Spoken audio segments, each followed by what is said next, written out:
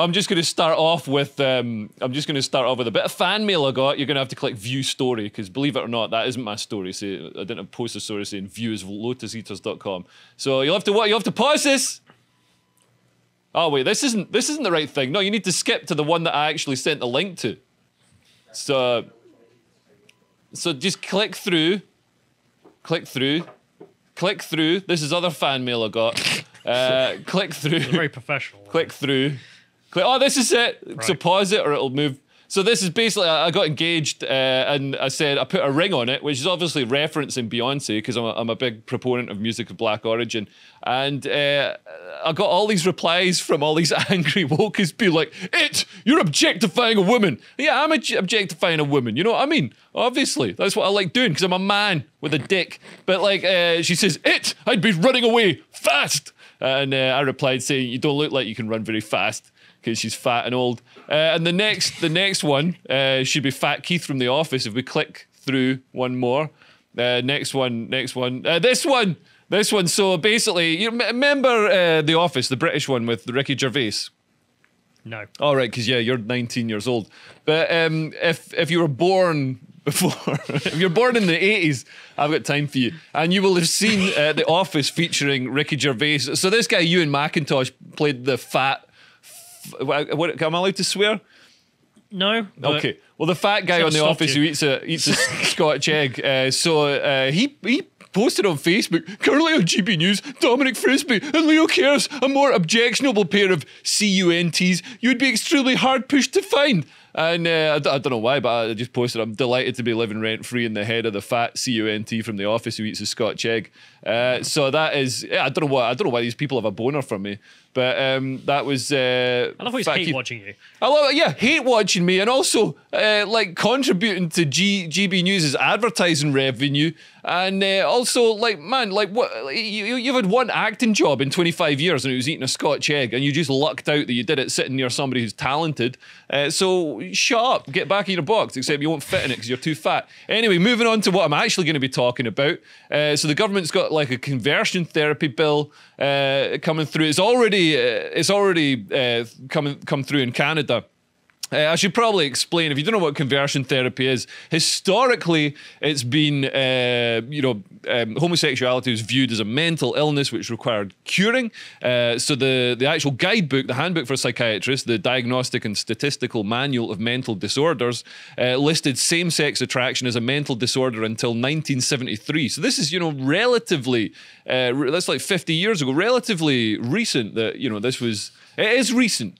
It is recent. I, I understand, but I just I reminded To me, um, it's recent. I got told a story about uh, when I think it was Norway decriminalized homosexuality or whatever, and then they there was some group that took out adverts trying to have, make sure that people knew it wasn't a disease, and they had some guy call up the office and go, "Oh, I'm really sorry, mate, I can't come in." Feeling a bit gay. Oh, fair enough. yeah. you got time off That's- sick. yeah, yeah.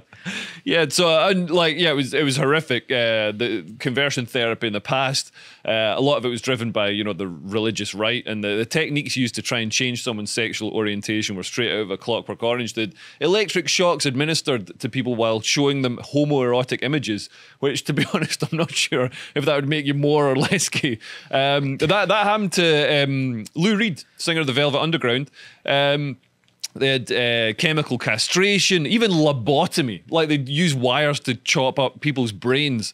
Uh, and this wasn't in the 1800s. It wasn't in Saudi Arabia. This was happening in the West as recently as 1969. Alan so Turing being a very famous one. exactly. So Alan Turing given chemical castration to you know, and he, he took that because the, the other option was was a prison sentence. Like insane, and like a man who helped Britain win the war. Absolutely insane. Um, so you can understand why you know the people would want that banned. Um, the problem with the, the bill as it stands now is it's also uh, covering uh, trans transitioning. Uh, so it's it, it means it'll be illegal to sort of uh, have therapy that that guides people away from transitioning from gender affirmation surgery or or or whatever. Because I mean, just to clarify, we don't do any of that stuff anymore. Mean, Oh yeah. I mean, there's no, there's nobody's getting electric shock treatment. Maybe, like maybe if you go to, um, there's a club down the road. yeah, maybe, I mean, yeah, people are probably getting it done for fun, but like nobody's, nobody's, you know, this this isn't a common problem in the UK at the moment. Um, statistics show, uh, like a survey of uh, gay and lesbian people said that just five percent of them had been offered uh, gender conversion therapy, and uh, it's more. Today is more. I mean, it's obviously a lot, milder. Nobody's getting lobotom- being offered lobotomies, but it's um, a religious thing. So you know, if you're from a you know hardcore religious community, So um, they'll pray, offer. pray the gay away. Yeah, they'll offer. My, my friend Stephen was was offering like I've got got a mate who's uh, like totally gay, like super gay, wears a bow tie and stuff. You know, like Well, that's a political statement now. loves, Super gay. loves dicks in his face, and like so when when he was fourteen, his parents are these hardcore Scottish Catholics. Oh man, Scottish Catholics could give the Taliban a run for their money, so they could see that he was gay. His parents could see that he was gay, so they sent him to this religious straightening out camp in America, where religious dudes get you to pray the gay away. But I don't think they really thought this system through. Because if you get two hundred gay teenage boys together at a camp, like overseen by priests, there's not going to be less anal sex going on at that camp. You know A- what I mean? As we know, all male boarding schools, nothing goes yeah, on. nothing, nothing goes. On. So like, I don't think they really thought this system through. But then I realised it's like when your dad catches you smoking a cigarette and then he makes you smoke the whole pack. Like these, these kids are going to come back from the camp with arseholes like a car crash. They are never going to look at a dick again. So maybe, maybe that's how the conversion therapy works these days. I don't know. Uh, so anyway, the the conversion therapy ban. the conversion therapy ban is already passed in Canada. Um, so bill number C4, uh, I don't know why they named it after plastic explosive, um, to ban conversion therapy. No one should be tortured under the false pretense that a person's sexual orientation, gender identity, and gender, gender expression can and should be changed. But um, actually, those things can change. if we move on to the next one, uh, you know it's a bad idea because uh, the the um, uh, if we move on, this is still like Canada, um, just uh, saying that they went through with it. But you know it's a bad idea because uh, Justin Trudeau uh, has tweeted saying it's a good idea.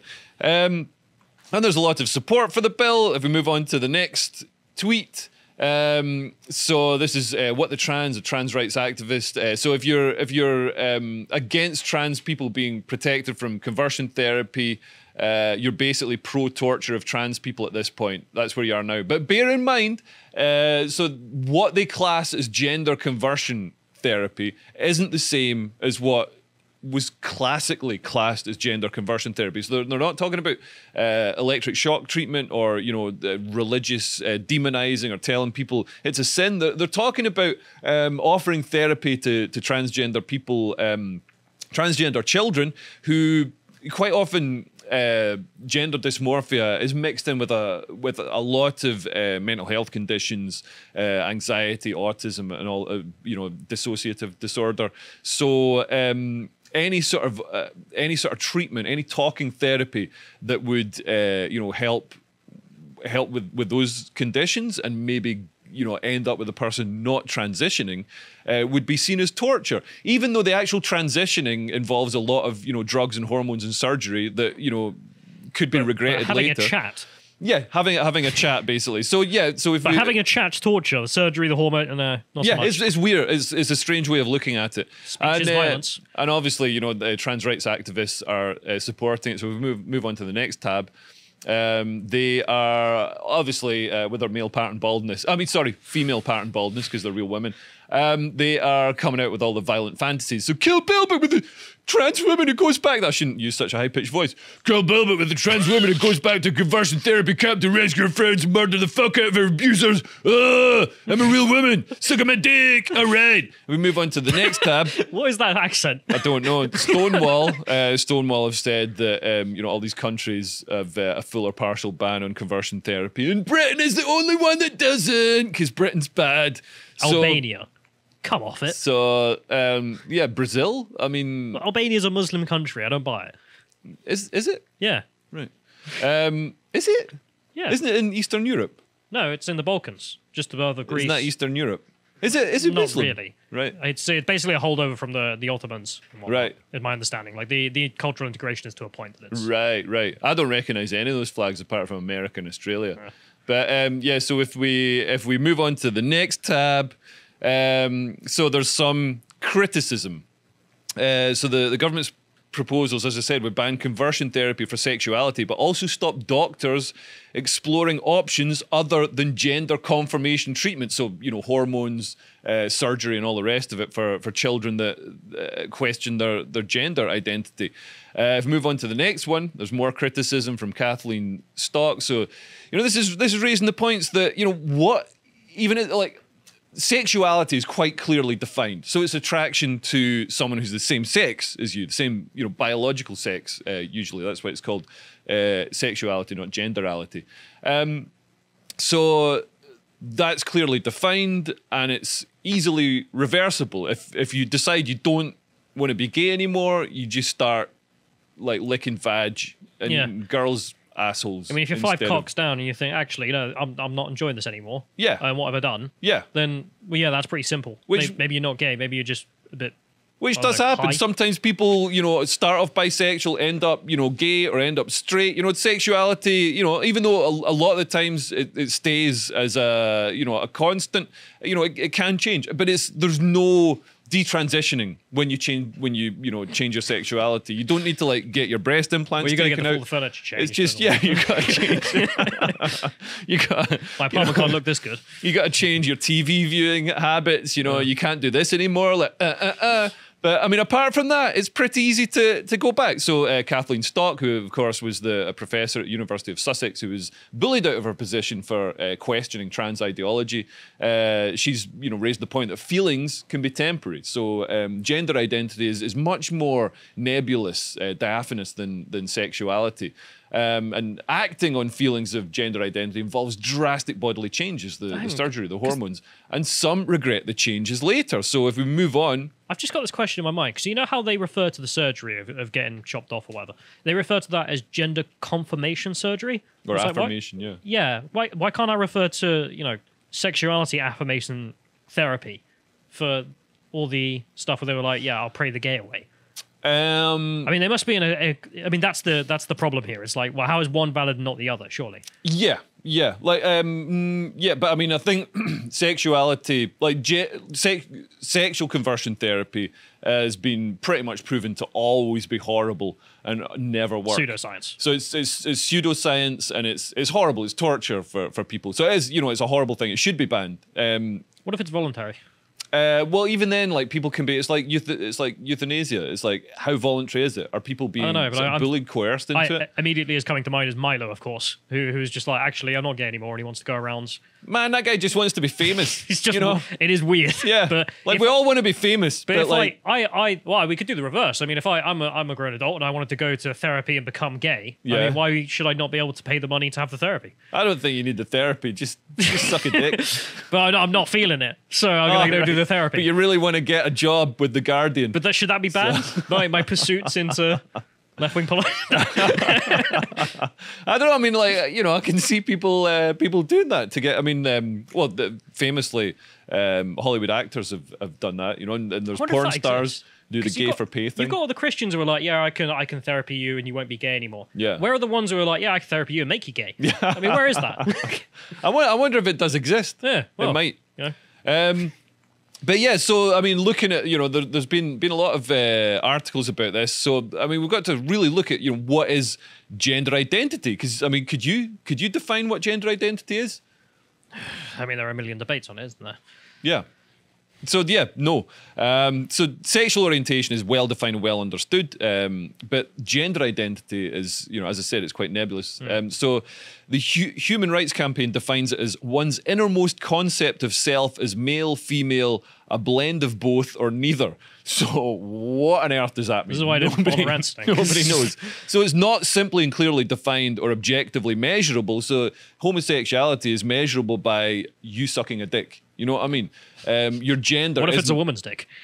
Then that's a complicated. then that's straight. I think that means that's still straight Right. under current uh, woke laws, Okay. because that's a, a female penis. Which I, I totally understand. If transgender women want to keep the penis, because apparently if you get it uh, removed, there's, there's a one in three or one in four chance you'll never orgasm again. Hmm. So yeah, keep the dick. Um, but the other issue with it is that sexual orientation is easy to change. You just date men instead of women. Uh, changing gender can be damaging. And it's also difficult to reverse. So you go through all the, the drugs, the hormones, the delayed puberty, and the surgery. Uh, so, um, so the Economist in, in this report, they report that um, trans identity can be, can be influenced by many factors. So, clinics and psychologists report that many trans identified patients also suffer from depression and anxiety. Some have had abusive childhoods, many are gay or lesbian, and may be confusing their emerging sexuality with a cross sex identity. I mean, this is why so many gays and lesbians feel that they're, they're being erased. So, you know, you've got butch lesbians who feel that the, the new generation of butch lesbians are, you know, being told that they're, they're male and they have to transition or being guided towards, you know, that that that funnel that's taken everybody through transitioning. I almost want to call it a gay genocide. like, there are no I new mean, gays. You, you like throwing the word genocide around. With, I mean, the, the Chinese Communist Party does a, a sterling job and uh, doesn't commit any genocide. Um, thank you for the donation, Xi Jinping.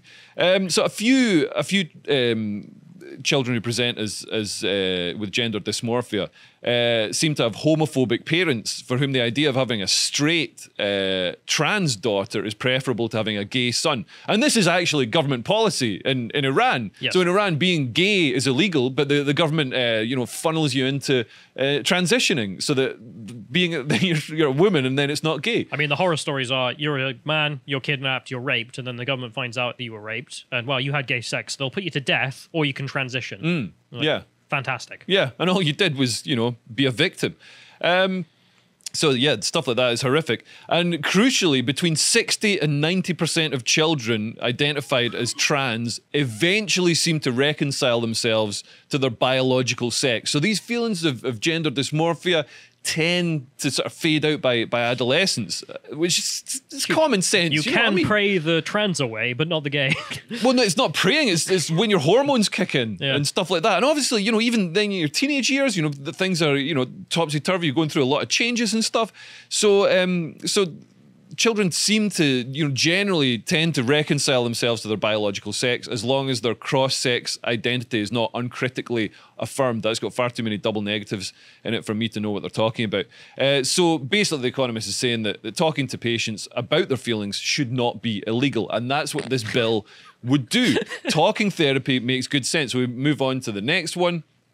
Um, this is uh, this is more criticism, so more crap conversion therapy science. If you imagine the government's proposed conversion therapy ban is based on authoritative evidence, you'd be wrong. You can tell because the team behind it are now churning out self-justifying rubbish like this. And this is this is interesting because there isn't enough data uh, around this because people are scared to research it. You saw what happened to Kathleen Stock. You know, she gets she gets bullied out of her position as a professor. Uh, they're, afraid, it- they're afraid of the answer. Because if the answer isn't the politically correct one, their Yeah. career is over. Yeah, absolutely, absolutely. And the next tab. Um, so uh, I mean, this is this is interesting. This is um, uh, somebody you know a, a feminist, so uh, somebody that would be deemed a trans exclusionary radical feminist, uh, saying that this this sort of move towards transitioning ev- as many people as possible is going to end fairness in women's sports. Um, which I mean, women's sports are always al- already at a disadvantage because they're so rubbish. Um, it's not. My mate was saying, "Oh, the the uh, England women's team. What was he saying? The England win, England women's team did did really well. Did better than the men's uh, men's team in the World Cup or something like that." Okay, then they can play each other. I'm like, "Yeah, they're playing women. Like, obviously they're gonna like. It's not fair. They're playing women. Do you know it's going to be much easier I can't anyway." rem- ah, you know what? We'll get into it. My uh, my dad, um, he started. He, he's a big uh, sports guy. He loves watching all kinds of sports. Yeah. And uh, they started doing like the women's stuff in the Olympics before the men's stuff. Yeah. And it made sense because then you'd watch that and you'd be like, yeah, that's pretty good. And then you see the men's stuff, be like, oh, it just gets better. Yeah. And, so it means it means that if you watch the men's stuff and then the women's stuff, you're not disappointed. Right? Yeah, yeah, yeah. I prefer watching the women's stuff. I don't like sport. because I'm so straight. I like watching them prancing around. Anyway, Right. um, uh, if we move on to the next tab, uh, so um, this is this is actually this is uh, in the wrong. This is somebody uh, supporting the conversion bill. So it's basically it's it's, it's up for um, uh, consultation at the moment. If we move on to the next tab. Um, so this is pointing out the the reality, or you know, certainly some per, somebody's perception of um, how conversion therapy and uh, the trans rights movement is uh, is erasing gays and erasing lesbians. So it's, it's making the parallels uh, in lesbophobia between 1973. Uh, when there was conversion therapy, and 2021, when uh, you know this ban on conversion therapy is ironically bringing through conversion therapy to convert more people to being trans. So yeah, I can I can see that, and I, I can see the the problems with this. There's an industry rapidly growing up around transitioning. In America, we've gone from one gender uh, transitioning clinic to, to over 50 in just a few years. This is all happening incredibly quickly.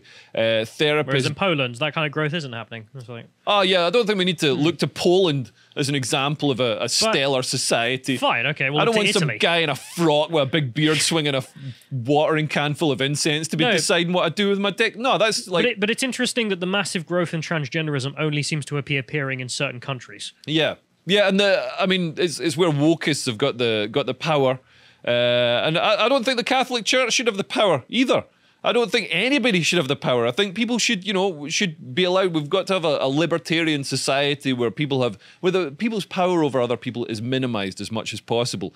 But anyway, so this industry that's that's grown up, so there's therapists and doctors, etc. They're making money from this. They've all got a vested interest in encouraging people to transition, uh, so that they're pushing more and more vulnerable young people into the system.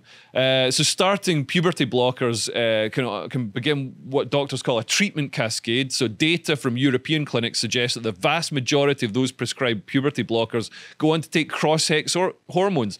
These drugs are powerful and have powerful side effects. Puberty blockers can stunt growth and weaken bones. A recent case in Sweden documented a teenager with osteopenia.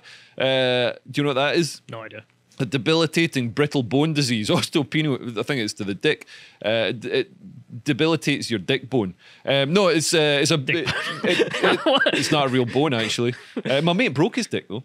Uh, he's having, having sex with a lassie like slammed down his dick too much. He's a comedian. Um, Phil Nichol, great What, comedian. laugh? broke, What- broke his dick, and he said it was the most painful thing uh, I can imagine. So you know, when it's engorged and and hard, then it can snap. You know, like uh, you know, let you snap a courgette or something.